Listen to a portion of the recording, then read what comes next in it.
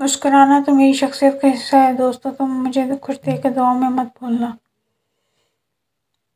और फिर टूट कर उसकी याद आई तो एहसास हो कि जो दिल में उतर जाए, वो भुलाए नहीं जाते। खुशियों को हम बेचने दें कदमों में तेरे तो कभी आ रहा है मोहब्बत पर मेरा होने के लिए।